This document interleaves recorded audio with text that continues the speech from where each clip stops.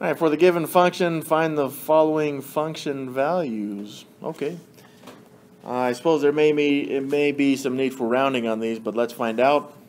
So on this, I've got the fourth root of 620 plus 5.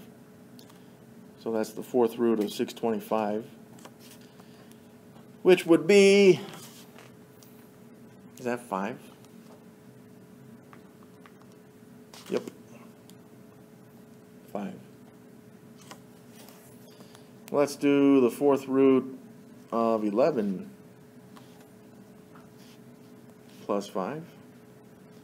So that's the fourth root of 16, which I think is 2. 2, 4, yep, 2, thank you.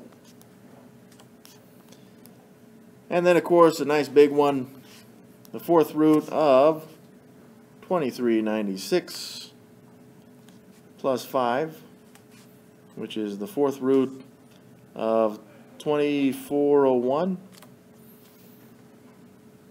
Yeah, 2401, 7. That's what I got.